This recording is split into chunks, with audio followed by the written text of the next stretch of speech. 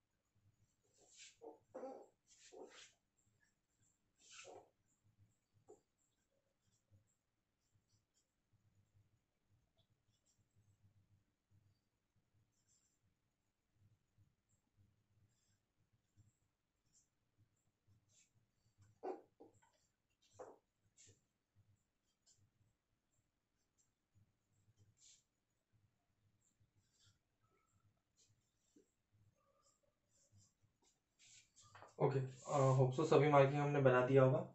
ठीक है।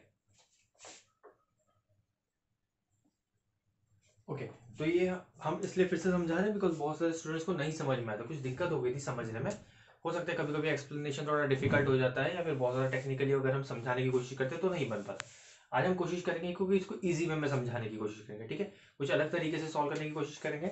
ओके अब हमारा कंसर्न क्या है? यहाँ पे देखिए, सबसे इंपॉर्टेंट डेल्टा फाइंड करना what is delta delta is angle of deviation हमने डिस्कस किया है।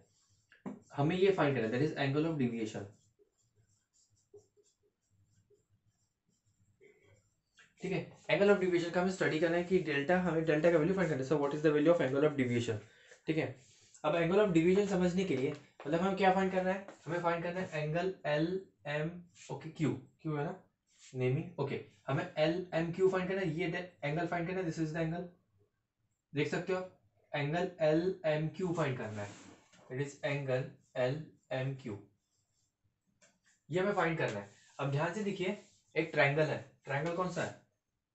P M Q P M Q triangle मतलब ये वाला ट्रायंगल के बारे में हम बात करें जहाँ पे आपको delta one delta two visible है। ठीक है? आप ट्रायंगल देख सकते हो। कौन सा ट्रायंगल है? M P Q I am talking about triangle M P Q अगर हम यहाँ पे प्रॉपर्टी अप्लाई कर दे तो क्या होगा? ये एक्सटीरियर एंगल है, ये इंटीरियर एंगल है delta one delta two so हमने प्रॉपर्टी पढ़ते हैं मैथ्स में. Exterior angle is equal to the opposite sum of opposite interior angle इसका मतलब क्या होगा? सम ऑफ़ अपोजिट इंटीरियर मतलब delta one plus delta two so delta will be delta one element Q क्या था? डेल्टा था. अब हम क्या करेंगे? M P Q that is delta one तो angle L M Q is equal to angle M P Q plus angle M Q P are you getting my point कौन सा प्रॉपर्टी हमने अप्लाई किया? That is exterior angle exterior angle is equal to the sum of interior opposite angle ठीक है? तो यहाँ पे हम अप्लाई कर देते हैं डेल्टा का वैल्यू क्या रहेगा? Delta will be delta one plus delta two delta का वैल्यू क्या रहेगा? Delta one plus delta two अगर हमें डेल्टा वन और डेल्टा टू हमें पता चल गया तो क्या हम डेल्टा का वैल्यू फाइंड कर सकते हैं? ठीक है? अगर हमें डेल्टा वन और डेल्टा टू पता चल गया ठीक है। अगर हम delta one delta two calculate कर लेंगे तो क्या हमें डेल्टा का वैल्यू मिल जाएगा? तो यस आंसर इज़ यस अब हम देखेंगे कि डेल्टा का वैल्यू कैसे फाइंड कर सकते हैं। Delta one and delta two का वैल्यू फाइंड कैसे करोगे? तो बहुत आसान है। किस तरीके से करेंगे? ये समझते हैं, ठीक है। अब यहाँ पे आप देख सकते हो at point P point P को हम मैग्नीफाई करेंगे तो कैसा दिखाई दे रहा है? कुछ इस तरीके से। दिस इज़ पॉइंट पी यहाँ से क्रिया इज़ इंसिडेंट रे ठीक है, ये एक्सटेंडेड पार्ट है इंसिडेंट रे का। और यहाँ पे आपको नॉर्मल विजिबल होगा। This is your point P तो आप देख सकते हो कि this is angle I one this is angle I one okay यहाँ पे एंगल आई वन है। और in this case in this case ये क्या होगा? अपोजिट एंगल्स आप देख सकते हो। मैथ्स में प्रॉपर्टी पढ़ते हैं, ठीक है? जब दो पर्टिकुलर लाइन परपेंडिकुलर एक दूसरे को क्रॉस करती है दिस इज़ परपेंडिकुलर ना? नॉर्मल ये तो परपेंडिकुलर है। तो opposite angles are always equal but this opposite angle is divided into two part that is delta one plus R one तो आई वन क्या हो जाएगा? I one is equal to submission of delta one plus R one I one क्या बन जाएगा? I one is a submission I can say I one is a submission of delta one plus R one so what is the value of delta 1 so delta 1 equals to i1 plus, sorry, minus r1 sorry sorry r1 let us see equation number 1 समझ में delta one की value same in this case ये I two है। This is I two तो I two क्या हो जाएगा? I two will be equals to I two will be equals to delta two plus R two what will be the value of delta 2? Delta 2 will be sir I2 minus R2. Clear है? ये point समझ में आ गया? ये point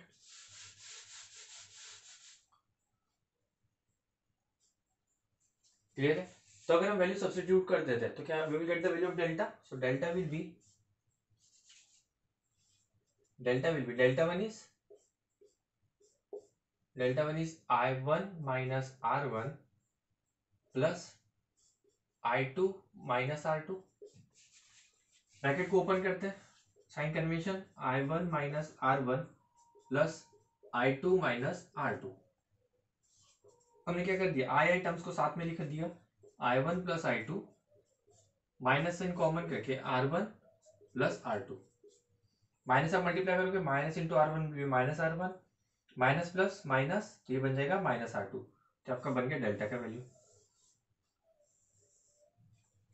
clear है? Simple language में delta का वैल्यू कैसे फाइंड किया हमने? यहाँ तक चीज़ें क्लियर है? कोई दिक्कत है? ओके अब हमें डेल्टा का वैल्यू जो हमें डिविएशन है डिविएशन हम अब हम कैलकुलेट करेंगे विथ रिस्पेक्ट टू अब हम प्रिज्म एंगल के बारे में बात करेंगे। हमारा प्रिज्म एंगल प्रिज्म एंगल क्या होता है? ये angle this is the prism angle let say point A पे है तो point A angle A form हो रहा है। मान लेते हैं कि वहाँ पे एंगल ए फॉर्म कर रहा है। कहाँ पे? पॉइंट ए पे एंगल ए फॉर्म कर रहा है। चलो ठीक है। ये सेक्शन अगर समझ में आ गया तो ये मिटा है। आगे बढ़ेंगे। ठीक है, क्योंकि इसका एक्सप्लेनेशन से भी एक्सप्लेनेशन है। लास्ट क्लास में हमने लास्ट वीडियो में, अपने प्रीवियस वीडियो में देखोगे इसका कंस्ट्रक्शन और बहुत डिटेल में हमने समझाया है। ठीक है? ये बस एक ओवरलुक है जहाँ पे बहुत दिक्कत हो रही थी। आपको समझ में आ गया होगा कि हमने डेल्टा का वैल्यू कैसे निकाला है। ठीक है, चलो अब आगे बढ़ते अब हमें कॉर्डिलेटर पे ध्यान देते हैं। A P N Q A P N Q quadrilateral पे बात करेंगे। ए पी एन क्यू मतलब ये कॉर्डिलेटर दिख रहा है आपको? अगर हम ऐसा कह सकते हैं दिस पार्ट कुछ इस तरीके से। ये बन गया आपका ए ये P this is N and this is Q ये क्लियर है? और ये क्या है? ये नॉर्मल ही है ना? दिस इज़ नॉर्मल एक्चुअली हाँ. This is normal let us say N डेशन यहाँ पे एन डबल डेशन ये एक्चुअली नॉर्मल है. नॉर्मल मतलब क्या होता है? परपेंडिकुलर नॉर्मल मतलब क्या होता है? परपेंडिकुलर तो ए पी एन अगर ये नॉर्मल है, अगर हम ये कह रहे हैं नॉर्मल है मतलब इसके बीच में जो एंगल बन रहा है, कितना रहेगा? Ninety degree? सेम यहाँ पे भी कितना रहेगा? नाइनटी डिग्री क्या ये चीज़ें क्लियर है? सो so, मैं कह सकता हूँ एंगल ए पी एन और angle A Q N in this quadrilateral is 90 degree that is same angle A P N is equal to angle A Q N which is 90 degree clear है यहाँ तक? समझ में आ गया? Okay okay. कोई दिक्कत तो नहीं होगी?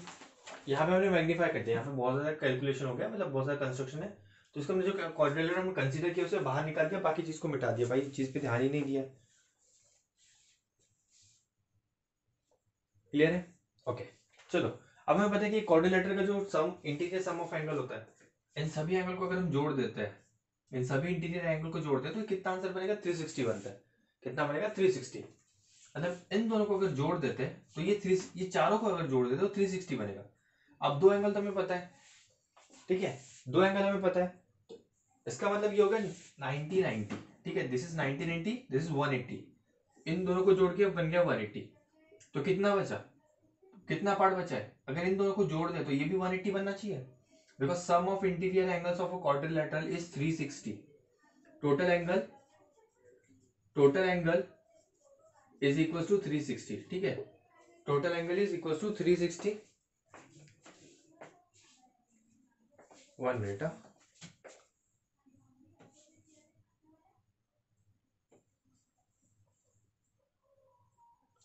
ठीक है तो हम क्या पढ़ रहे थे? कि sum of total angle of interior is 360 ये 360 है। हमें तो पता चल गया 90 90 मतलब 180 है। तो रिमेनिंग पार्ट कितना होगा? 180 होगा। रिमेनिंग पार्ट 180 तो अगर मैं कहूँ angle N sorry angle P N Q और पी ए क्यू कितना होगा? Angle P N Q plus P A Q sir अगर हम जोड़ दे पी एन क्यू और P A Q this should be 180 degree क्या ये 180 होना चाहिए? यस और नो हाँ ना? ठीक है 180 सर हमने इसे कंसीडर किया एंगल है दिस इज़ एंगल है मतलब angle P A Q P A Q क्या बन गया? सिर्फ़ बन गया angle A equal to 180 so, in this case, angle p and q is equal to 180 minus a.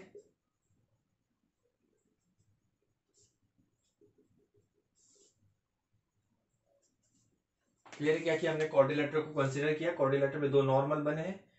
P से नॉर्मल गुजरे मतलब ये 90 डिग्री टू द सरफेस है। 90 डिग्री टू द सरफेस रहेगा, इसका मतलब क्या रहेगा? पूरा 90 डिग्री बनेगा।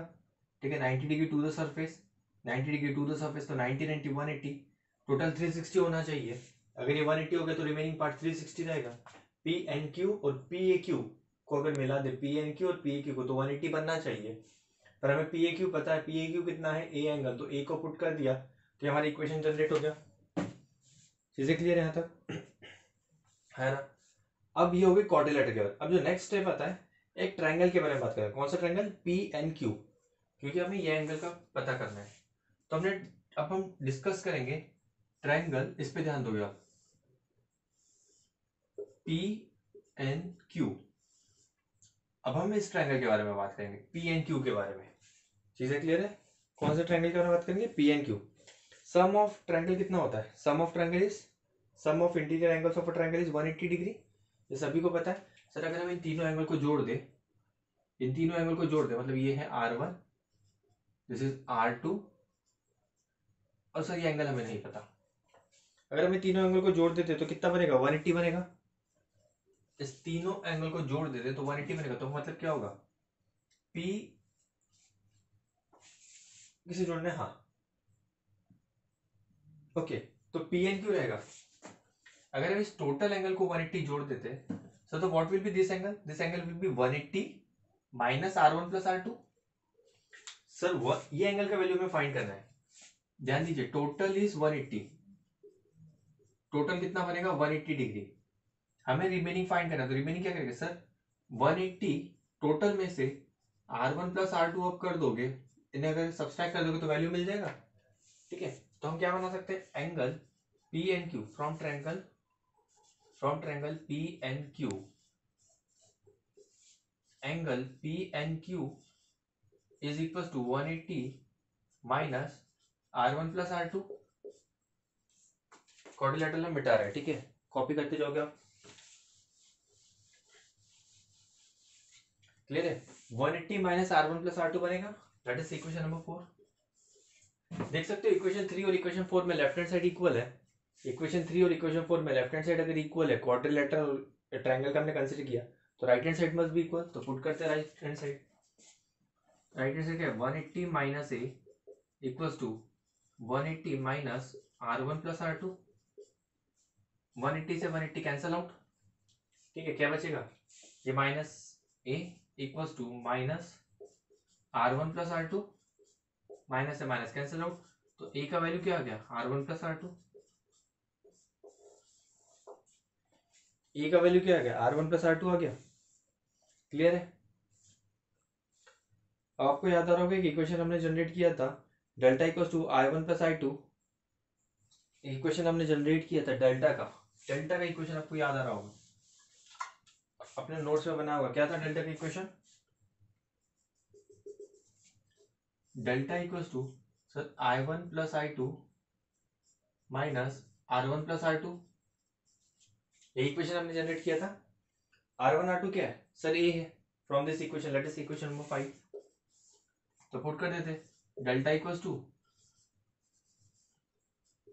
I one plus I two minus A from equation number five substitute कर दिया। क्लियर है? हाँ ना?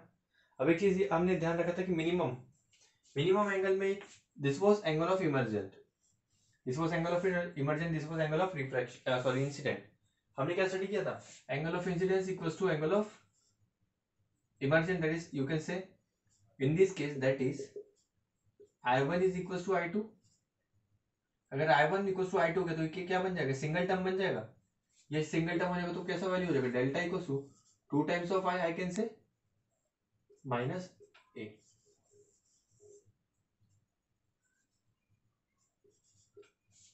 Two I minus A two I कैसे हो गया? Sir in this case I one I two same है. Angle I equal to angle E angle of incidence equal to angle of emergent ठीक है सेम होता है. That is in our case I one is equal to I two अगर ये value same हो गई तो सर आप इसे ऐड कर दीजिए सेम वैल्यू है तो डायरेक्ट ऐड हो जाएगा। तो टू टाइम्स ऑफ़ एक single I minus A A का वैल्यू रहेगा। ठीक है? तो this was the present part जहाँ पे बहुत सारे बच्चों ने हमें कहा था कि सर हमें नहीं समझ में आया। वो एक्सप्लेनेशन ये किस तरीके से ये चीज़ें हो गई है। होप सो अब आपको समझ में आ गया होगा। यहाँ पे मैथमेटिक्स का यूज़ किया है हमने बहुत ज़्यादा।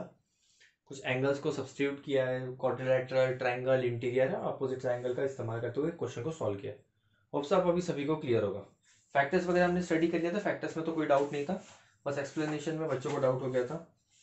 ठीक है तो ये हमने यहाँ पे आपका डाउट क्लियर कर दिया है होप सो ठीक है, अगर आपका डाउट क्लियर हो गया होगा, यहाँ पे पार्ट समझ में आ गया होगा तो आप मुझे बता सकते हो you can comment on my YouTube channel okay ठीक है, अब हम नेक्स्ट पार्ट पे आते हैं।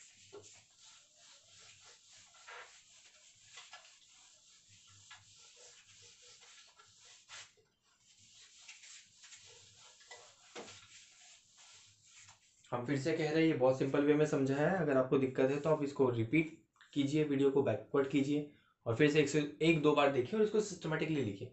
तो आपको समझ में आ जाएगा, कोई दिक्कत नहीं है। ओके अब हम बात करने वाले हैं रियल एंड अपेरेंट डेप्थ की। रियल और अपेरेंट डेप्थ क्या होता है, ठीक है? जैसे कि वर्ड ही सजेस्ट करते हैं रियल डेप्थ और अपेरेंट डेप्थ लेट अस से यहाँ हम डायग्राम बनाते हैं, समझ, समझने की कोशिश करते हैं। This is air as a medium this is water as a medium मतलब हमने क्या किया मीडियम में चेंज किया। दिस इज़ इंटरफेस ठीक है? यहाँ पे एक इंटरफेस है और एक मीडियम है। ठीक है? एक मीडियम का हम रेंज बना देते सो दैट विजिबल रहेगा अच्छे से क्लियर ठीक है? ये बन गया। अब हम इस केस में एक स्टिक का इस्तेमाल करेंगे। Let us say we have an object at point two ये हमारे एक ऑब्जेक्ट रखा हुआ है। ठीक है? At the bottom of the surface पे ऑब्जेक्ट रखा let us say point two अब इस पर्टिकुलर ऑब्जेक्ट से ऑब्जेक्ट हमें विजिबल कब होता है? अगर हम लाइट चैप्टर का शुरुआत देखें तो हमने कहा था कि ऑब्जेक्ट आपको तभी विजिबल होगा जब वो ऑब्जेक्ट लाइट को रिफ्लेक्ट करेगा। अगर वो ऑब्जेक्ट लाइट को रिफ्लेक्ट नहीं कर सकता तो आप वो ऑब्जेक्ट को नहीं देख सकते। ठीक है? ये हमेशा याद रखना। आप ऑब्जेक्ट तभी देख सकते हो जब वो ऑब्जेक्ट लाइट को रिफ्लेक्ट करेगा। जैसे कि आप एक एग्जांपल समझिए। एक ऑब्जेक्ट एक ऑब्जेक्ट लेट से एक चेयर है। ठीक है? एक चेयर है जो आप एक रूम में रखा हुआ है, एक कम्प्लीटली ब्लॉक रूम में रखा हुआ है, वहाँ पे एक सिंगल लाइट है। जब हम लाइट ऑन करते हैं तो चेयर विजिबल होती है, जब लाइट ऑफ़ करते तो चेयर विजिबल नहीं होती है। इसका मतलब क्या हुआ? इससे हम कंक्लूड कर सकते हैं। ऐसा नहीं कि सर चेयर गायब हो गई चेयर तो वहीं पे फिर दिखाई क्यों नहीं दे रही है? रीजन इज़ दैट सर, जब हमने जैसे ही लाइट ऑन किया लाइट से जो लाइट रेज आई, वो चेयर पे गिर गई। चेयर पे इंसिडेंट हुई चेयर ने ओपेक होने की वजह से उसको रिफ्लेक्ट कर दिया। रिफ्लेक्ट करने पे वो लाइट हमारी आँखों ने कैच किया, हमारी रेटिना ने कैच किया, हमारे आईबॉल्स ने कैच किया और इस पर्टिकुलर लाइट को कैच करके वहाँ से इमेज फॉर्मेशन हुआ। नाइन्थ स्टैंडर्ड में हमने री पढ़ा था जहाँ से लाइट ऑब्जेक्ट से लाइट आती है, उसी से इमेज बनता है। मतलब जब ऑब्जेक्ट लाइट को रिफ्लेक्ट करेगा, तभी इमेज बनेगा। अगर आपने लाइट ऑफ़ कर दिया चेयर पे कोई लाइट नहीं गिरी है तो चेयर ने किसी लाइट को रिफ्लेक्ट नहीं किया, इसलिए आप पर्टिकुलर उस ऑब्जेक्ट को नहीं देख पाए। Same goes with the moon आपने पढ़ा होगा कि मून हमने बहुत, बचपन की क्लास में बहुत बार पढ़ा है। कि moon doesn't have its own light ठीक है? वो कहाँ से, क्यों, कैसे दिखाई देता है? फिर अगर मून के पास लाइट नहीं है मून अगर सोर्स नहीं है लाइट का तो मून हमें दिखता कैसे? मून हमें दिखता कैसे? मून हमें तभी दिखता है जब सनरेज उस पर गिरती है। सनरेज उस पर गिरती है, वो लाइट को रिफ्लेक्ट करता है, हमारी आँख उसे लाइट को कैच करती है तो वही हम मून को देख पाते हैं। तो हमेशा याद रखिए, जो ऑब्जेक्ट हमें विजिबल होता है, वो तभी विजिबल रहेगा जब वहाँ से लाइट रेस आ रही है, आपकी आँखों तक लाइट रेस आ रही है। तो सेम वैसे ही, एक ऑब्जेक्ट रखा है लेटर से ओ एट पॉइंट ओ ठीक है? अभी जो ऑब्जेक्ट है, ऐसा तो नहीं है कि ऑब्जेक्ट सिर्फ़ एक single beam of light emit करेगा, वो तो multiple beam of light emit करेगा। मतलब इस ऑब्जेक्ट से millions of beams of light आ रही है, बहुत सारी लाइट्स आ रही है। पर हम millions of beams of light का स्टडी तो नहीं कर पाएँगे, बहुत माइक्रोस्कोपिक है। तो हम two two two three different cases के बारे में स्टडी करेंगे और वहाँ से कंक्लूड करेंगे कि क्या चीज़ें होती है, ठीक है? सबसे पहला केस हम कंक्लूड करते हैं कि भाई अगर लाइट रे परपेंडिकुलर आती है तो क्या होगा? Property of light whenever light strike at an interface at 90 degree light passes undeviated. क्या हमने ये रिफ्रैक्शन में पढ़ा है? ठीक है. Whenever light ray strike at an interface at 90 degree at 90 degree it passes undeviated. Refraction phenomena होगा, पर अनडिवेटेड बिकॉज़ हमने रिफ्रैक्शन में क्या कहा था? रिफ्रैक्शन में हमने कहा था कि लाइट रे एक मीडियम से दूसरे मीडियम में जाती है और अपना पाथ को चेंज करती है। पर इस केस में चेंज नहीं करेगा, ये डायरेक्ट ट्रेवल करेगा सीधा सीधा डायरेक्ट ट्रेवल करेगा। रीजन क्या है? Property of light whenever light strike light rays आ रही है, जिसे लाइट लाइट बीम्स के बारे में बात करिए ऑब्जेक्ट लाइट बीम को एमिट कर रहा है। ठीक है, ये ऑब्जेक्ट है यहाँ पे। इसको बड़ा कर देते विजिबल हो जाएगा। ठीक है ऑब्जेक्ट है जो लाइट रे को एमिट कर रहा है मतलब रिफ्लेक्ट कर रहा है एक तरीके से। लाइट रेज आ रही है, यहाँ से रिफ्लेक्ट कर रहा है। अब हम इस ऑब्जेक्ट को ऑब्ज़र्व करने वाले हैं। तो रे ऑफ़ लाइट परपेंडिकुलर स्ट्राइक किया, सीधा निकल गया। कोई चेंजेस नहीं हुआ, क्योंकि इस परपेंडिकुलर लाइट कोई चेंजेस नहीं दिखाता है। ठीक है? मान लेते हैं इस पॉइंट को पॉइंट ए इस पॉइंट को मान लेते ए डैश ये चीज़ें क्लियर है? ओके अब कुछ ऐसे लाइट होगा ना जो इंक्लाइंड में आया होगा। कुछ ऐसी लाइट होगी जो इंक्लाइंड में होगी। आया ना? कुछ certain amount of light incline में भी होगी तो ठीक है भाई इंक्लाइन में होगी, कोई दिक्कत नहीं है। ये कर दिया इंक्लाइन ठीक है, ये बन गया इंसिडेंट है। मतलब यहाँ पे क्या हो रहा है? लाइट रेस आ रही है। लाइट रेस आ रही है। इंटरफेस हो तो क्या रहेगा? Perpendicular let say normal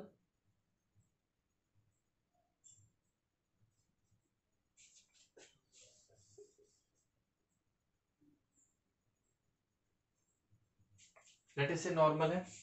अब देखिए वाटर का एक डेंसर मीडियम है। Water is an denser medium water is an denser medium और air is an lighter medium हमने फ़र्स्ट क्लास में रूल बताया था। Whenever light travels from a denser to rare it bends away from the normal normal से दूर जाएगा। Normal की तरफ़ नहीं जाएगा। नॉर्मल से दूर।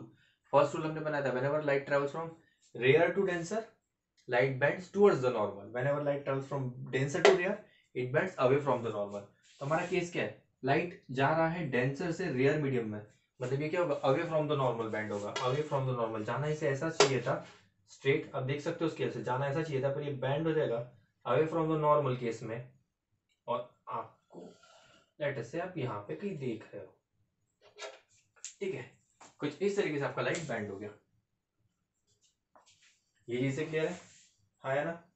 ठीक और आप यहाँ से ऑब्जेक्ट को देख रहे हो।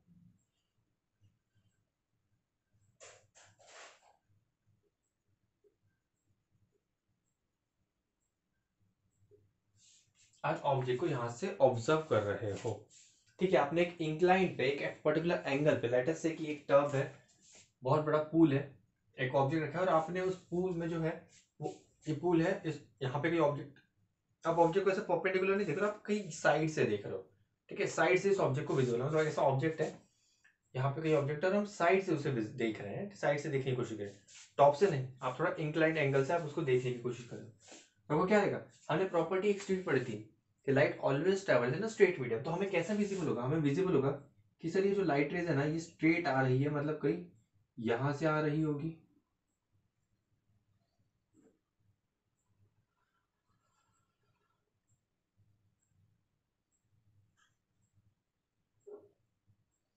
हम अज्यूम करते हैं कि जो रे ऑफ़ लाइट है, सर ये तो रे ऑफ़ लाइट स्ट्रेट ट्रैवल करनी चाहिए ना। स्ट्रेट है ना, बना है ना स्ट्रेट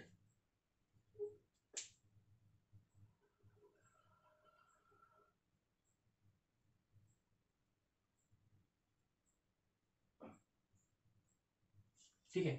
यहाँ से लाइट आनी चाहिए, क्योंकि हमारा हमारा ये क्या कहता है? हमारा रूल क्या कहता है? Light always travels in a straight path light always travels in a straight path क्या ये सही है? यहाँ तक आपको समझ में आ गया होगा। ऑब्जेक्ट ओ है। First ray of light straight गई परपेंडिकुलर स्ट्राइक किया विदाउट डिविएशन चली जाएगा। दूसरा रे ऑफ़ लाइट डिविएटेड है। डेंसर टू रियल है तो बैंड होगा अवे फ्रॉम द नॉर्मल और यहाँ पे जाएगा। तो जब हम ऑब्जेक्ट को देखने की कोशिश करेंगे तो वी विल सी दैट ये जो ऑब्जेक्ट है, आपको कहीं और दिखाई देगा। क्लियर है? तब हम बात करते हैं लेटेस्ट इसको नॉर्मल इसे नाम देते नॉर्मल एन एन डैश ठीक है एन और एन डैश इसे नाम दे देते हैं। ओके लेट अस से दिस इज़ पॉइंट बी और कुछ पॉइंटिंग आपका नाम बचा। ओके चलो। ठीक है, अब ध्यान दीजिए। Incident ray with the normal angle of incidence can I say this is angle of incidence ध्यान देते जाना है, फिर से मैथ्स आएगा। एंगल ऑफ़ इंसिडेंस क्यों? Sir incident ray making angle with the normal this is normal normal कहता है टू द सरफेस सरफेस पे जो लाइन होती है, उसे नॉर्मल कहते हैं। तो to the surface this is angle of incidence है ना? अगर ये चीज़ें क्लियर है, अब ध्यान से आप ऑब्ज़र्व करोगे चीज़ तो एक चीज़ ऑब्ज़र्व करेगी। N N dash A a dash or I can say O O dash is parallel to each other. If this is parallel to each other, then O and this point OB is transversal. अगर हम OB को trace करते हो तो is this transversal OB क्या transversal तो ऐसे case में क्या होगा angle I this will be also equal to angle I क्या ये एंगल आई बन जाएगा by which property two parallel line cutting transversal line cutting, two parallel line मतलब कुछ इस तरीके से। हमने प्रॉपर्टी स्टडी किया होगा।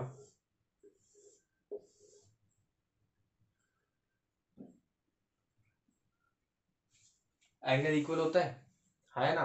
ये आपने प्रॉपर्टी लर्न किया होगा। मैथ्स में। तो angle I to angle I बन जाएगा। है ना? If this is angle I this is refracted ray so this will be angle of refraction let us say r this will be angle of refraction. Clear है? फिर से आप देखोगे इन this case अब इस केस में आप देखो parallel point if I am saying this is transversal which one जो आँखों से स्ट्रेट आ रही है, ये डॉटेड लाइन यहाँ पे ट्रांसवर्सल है, और ये पैरल लाइन है तो फिर क्या ये भी एंगल आर बन जाएगा?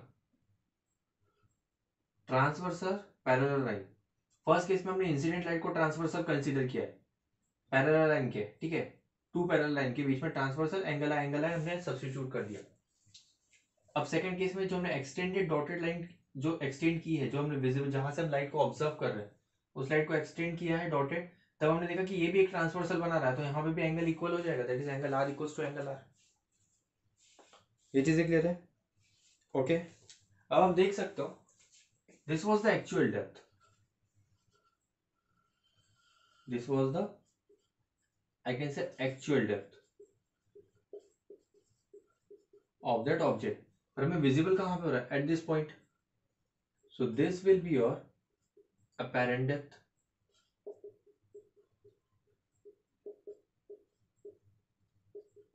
actual you can say real depth so this is real depth actual depth और real depth this is your apparent depth जहाँ पे रे ऑफ़ लाइट स्ट्राइक कर रहे हैं. क्लियर है? है ना? ओके सर हमने ये पढ़ा क्यों है? हम अभी एक्चुअली रियल डेप्थ और अपेरेंट डेप्थ में कंसेप्ट डेवलप करने वाले हैं कि सर रियल डेप्थ और अपेरेंट डेप्थ कैलकुलेट कैसे करते हैं? फॉर्मूला हम जानेंगे। ठीक है? इसके डेरिवेशन पे ज़्यादा जाना नहीं है, ध्यान देते जाना है बस। जो हम बोलेंगे फास्ट फास्ट सुनते जाना है। एंगल ए ओ बी कितना है? Angle I angle A O B is equal to angle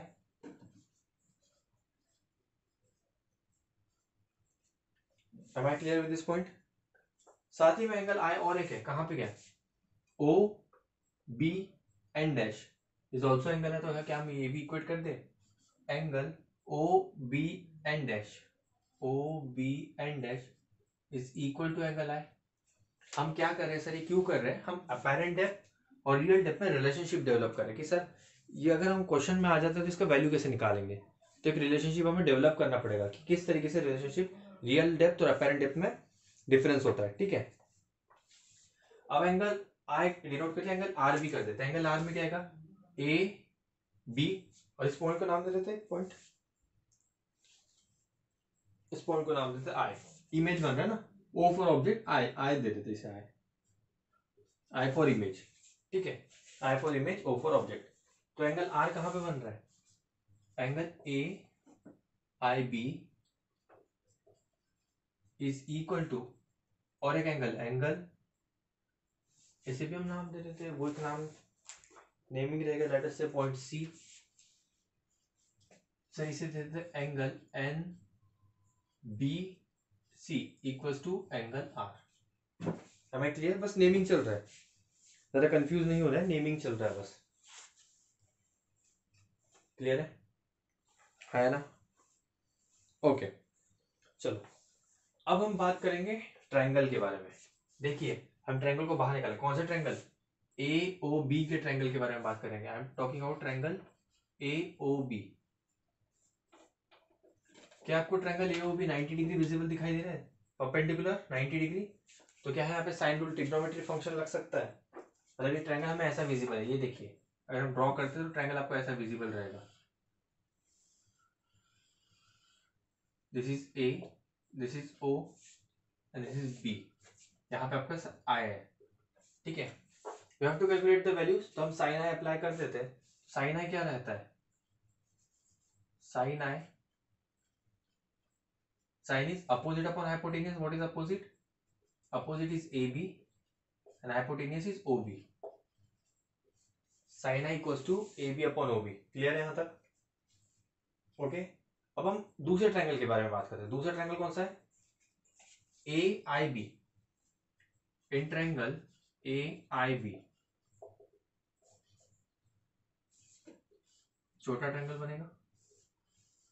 This is A this is I and this is B यहाँ पे हम आर है। तो इस केस में अगर साइन आर अप्लाई कर देते हैं साइन आर इक्वल फिर से opposite A B upon I B opposite upon hypotenuse clear है? स्नेल्स लॉ क्या कहते हैं? स्नेल्स लॉ कहते हैं sir Snell's law says that sine I upon sine R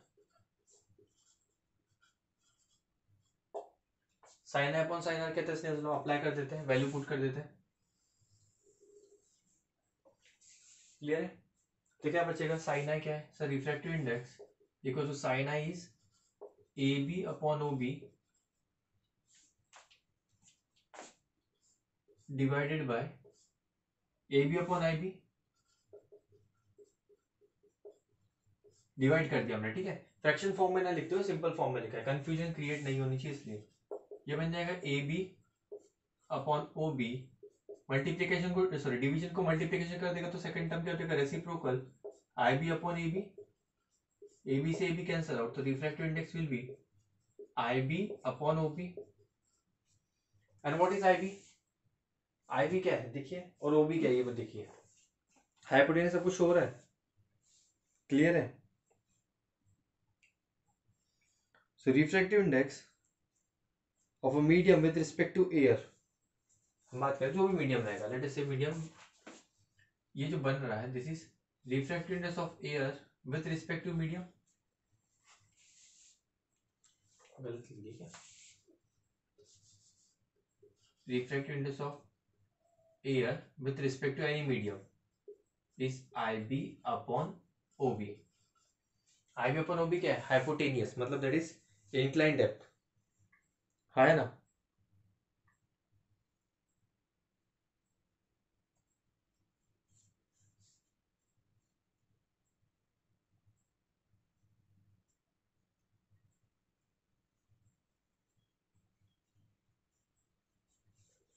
ठीक है, यहाँ पे डन है सभी का। O B O B one minute यहाँ पे ओ बी ओके ठीक है।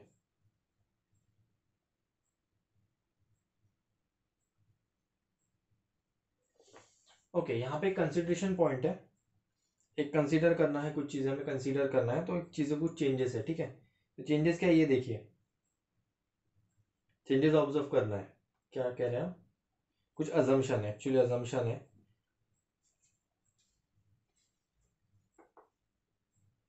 This is medium with respect to air sorry this is medium with respect to air ठीक है? अब जब हम चेंज करेंगे रिफ्लेक्टिवनेस चेंज करेंगे तो क्या जाएगा वन अपॉन हो जाएगा ये। Reflectiveness of air with respect to medium क्या बन जाएगा? One upon I B upon O B sir कैसे बना? क्योंकि मीडियम चेंज करिए तो रेसिप्रोकल हो जाएगा। हमने लास्ट इसमें पढ़ा है रिफ्लेक्टिव इंडेक्स के पार्ट में। तो ये बन जाएगा O B upon I B O B upon I B this is equation number two clear reflective index के पार्ट में पढ़ा है सर, ये कैसे हुआ? आप रिफ्लेक्टिव इंडेक्स के पार्ट को देखोगे एक बार तो आपको समझ में आ जाएगा सर, हम जब रिफ्लेक्टिव इंडेक्स चेंज करते हैं मीडियम चेंज करते हैं तो रेसिप्रोकल हो जाता है। रेसिप्रोकल होने पे ओबी अपन आई पी हो जाएगा। ठीक है? अब यहाँ पे कुछ कंसिडरेशन है। यहाँ पे कंसिडरेशन क्या है? यहाँ पे हम कंसीडर करें कि जो डिस्टेंस है ना, ये बहुत मिनिमम है। जो डिस्टेंस है रियल और अपेरेंट वाला, ये बहुत मिनिमम है। एक अजम्पशन है कि जो चेंजेस है, अब आप ऐसे समझिए कि एक वेसल है वेसल में आपने एक पर्टिकुलर ऑब्जेक्ट को नीचे रखा है बॉटम में। ठीक है, एक वेसल है वेसल को, एक वेसल वेसल भी नहीं है हमारे यहाँ पे।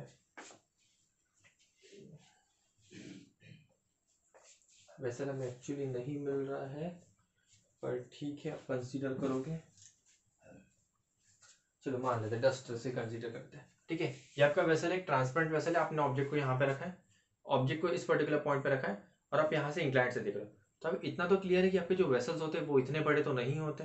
किलोमीटर्स के रेंज के, कुछ सेंटीमीटर्स के रेंज के होते हैं। है ना? मीटर के रेंज के भी वेसल्स नहीं होते। एक मीटर इतना बड़ा होता है, एक मीटर इतना बड़ा वेसल तो आप यूज़ करोगे नहीं। ठीक है? तो जो भी चीज़ आप ऑब्ज़र्व करोगे, छोटा सी ऑब्ज़र्व करोगे और पास से ऑब्ज़र्व करोगे। तो ऑब्जर्वेशन जब हम पास से करते हैं फिर हमारा जो वेसल होता है वो छोटा होता है तो ऐसे केस में हमारा अजम्पन क्या होता है? Since the point B is very close point B is very close to the point A ये तो हमने मैग्नीफाई किया है। बहुत मैग्नीफाई किया है। एक्चुअली ये जो ए और बी पॉइंट होता है, बहुत पास होता है। मतलब यू कैन सी ए और बी जो बहुत पास में होता है।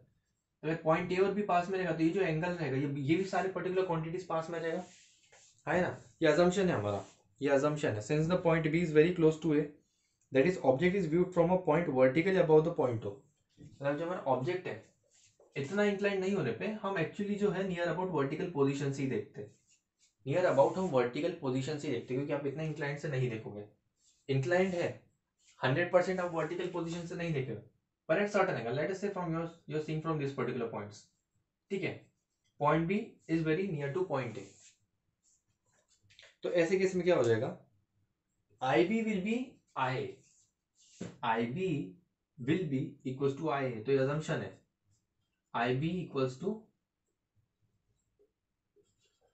I बन जाएगा।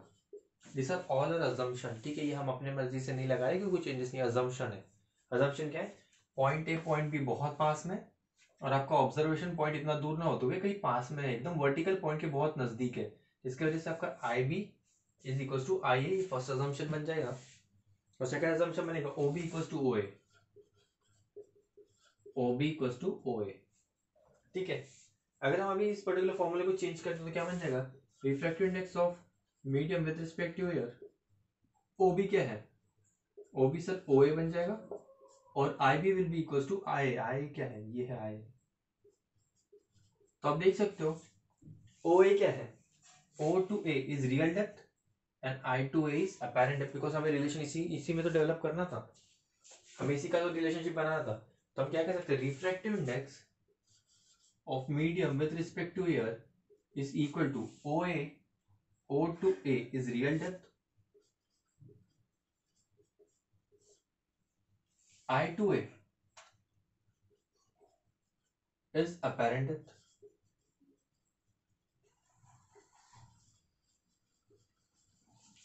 Are you getting my point? तो ये बन गया आपका रिलेशन फिर आपको अलग अलग बुक में अलग अलग तरीके के मॉडिफिकेशन दिखेंगे. इसको यहाँ लिखा है इसको यहाँ लिखा है तो ये तो अलग सी बात है. पर ये आपका बन गया. Refractive index equals to, sorry refractive index of medium with respect to air is equal to, क्या बनेगा? Real depth upon apparent depth तो फॉर्मूला याद रहेगा? ये बन जाएगा real depth upon apparent depth clear है? क्विक अब हम रिवाइज करते हैं what are the factors on which dependency of shift of the refractive index पहला फैक्टर शिफ्ट ओके शिफ्ट बची है, ठीक है? शिफ्ट बचा है। शिफ्ट का हम फॉर्मूला यहाँ पे डायरेक्ट बताएँगे। इसका शिफ्ट का फॉर्मूला शिफ्ट मतलब क्या? है कि भाई आपका जो इमेज है वो कितना ज़्यादा शिफ्ट होगा। इमेज जो होता है वो कितना ज़्यादा शिफ्ट होगा, उसका हम फॉर्मूला बनाएँगे।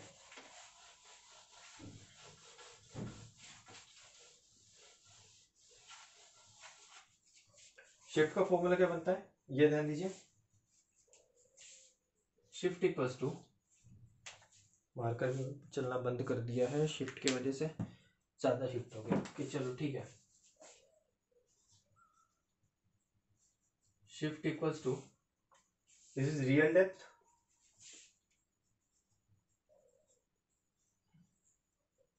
Minus apparent depth. Normal है ना, कितना शिफ्ट हुआ? सर रियल डेप्थ में से अपेरेंट माइनस कर दीजिए तो आपको शिफ्ट मिल जाएगा, ये शिफ्ट है आपका। ये क्या रहेगा? ये शिफ्ट रहेगा। ये कितना ज़्यादा शिफ्ट हुआ है?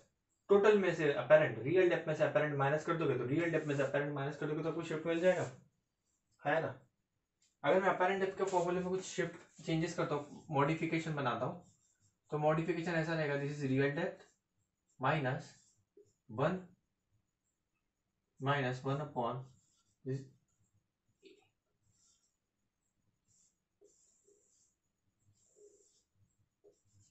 formula direct learn करोगे आप? वैसे तो आप कॉमन सेंस कहता है कि शिफ्ट क्या है? Real depth upon apparent depth real depth आपको पता रहेगा अपेरेंट डेप्थ आप कैलकुलेट कर लोगे या फिर आपको गिवन रहेगा तो आप शिफ्ट वैसे कैलकुलेट कर सकते हो।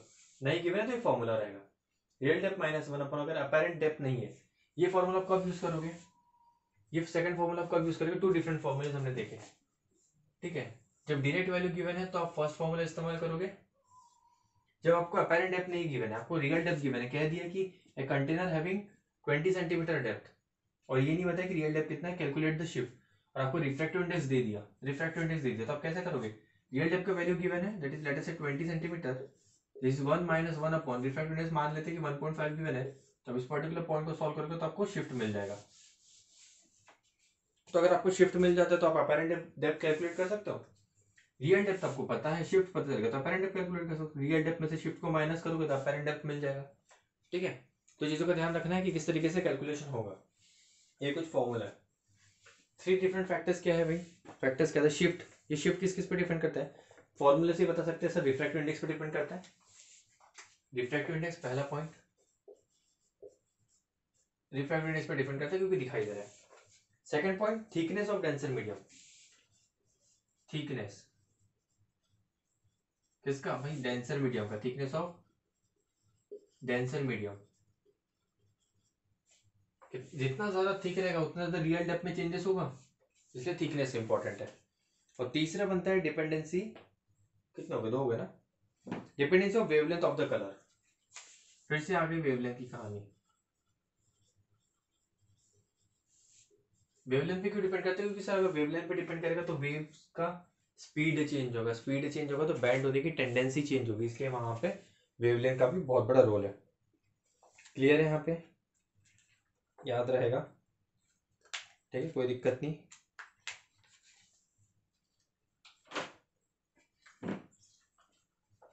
चलो ओके ये आंसर को हम यहीं पे खत्म करते हैं। नेक्स्ट क्लास में जब हम मिलेंगे नेक्स्ट क्लास में हम देखेंगे कि apparent depth of stick stick का जो एक बहुत सारे एग्जांपल आता है, कुछ न्यूमेरिकल देखेंगे। फिर बहुत इंपॉर्टेंट और इंटरेस्टिंग टॉपिक रहेगा that is critical critical angle total internal reflection क्या होता है? क्रिटिकल एंगल होता है। टोटल इंटरनल रिफ्लेक्शन बहुत इंपॉर्टेंट फिनोमिना है। ये फिनोमिना कहाँ कहाँ पे यूज़ होते हैं बता देते हैं आपको। डायमंड आपने देखा कि डायमंड चमकता है? डायमंड जो चमकता है, इसका रीजन क्या है? डायमंड का चमकने का रीजन ये है, उसके अंदर लाइट कोई फिट तो किया नहीं है। किसी ने लाइट ऐसे आके उसमें अंदर फिट तो नहीं कर दी कि चलो, बहुत सारे एलईडी लाइट लगा देते हैं। डायमंड के अंदर फिर चमकना शुरू हो जाएगा। नहीं। डायमंड चमकता क्यों है? तो चमकता है due to total internal reflection की वजह से। ठीक है? रेनबो फॉर्मेशन क्यों होता है? क्योंकि वहाँ पे रिफ्लेक्शन और टोटल इंटरनल रिफ्लेक्शन होता है। मतलब रेनबो फॉर्मेशन में भी टोटल इंटरनल रिफ्लेक्शन का बहुत बड़ा हाथ है। अब अभी रेनी सीज़न चल रहा है रेनी सीज़न में बहुत टाइम रेनबो जो देखते हो it is a physical phenomenal rain drop में आप रिफ्रैक्शन और टोटल इंटरनल रिफ्लेक्शन देखते हो। दो फिनोमिनल आपको देखने मिलते हैं। रिफ्लेक्ट रिफ्रैक्शन रिफ्रैक्शन मतलब लाइट एंटर करेगा एक मीडियम से दूसरे मीडियम में। और जो दूसरा होता है that is total internal reflection total internal reflection की वजह से भी आपको रेनबो देखने मिलता है। तो रेनबो के फॉर्मेशन में टोटल इंटरनल रिफ्लेक्शन है। डायमंड की शाइन होने में और सबसे बहुत इंपॉर्टेंट और सबसे इंटरेस्टिंग है, आपके घर में इंटरनेट है, ठीक है? अब जो डेटा से चलाता है तो उसका तो कहानी नहीं पता, ठीक है? डेटा से चलाने वाला नहीं, पर अगर तुम देखोगे तो ऑप्टिकल फाइबर जिसके घर पे ऑप्टिक फाइबर लगे हैं, जिसके घर में बहुत हाई जीबी एकदम ट्रिमेंडियस स्पीड के साथ डेटा फुल स्पीड में आ रहा है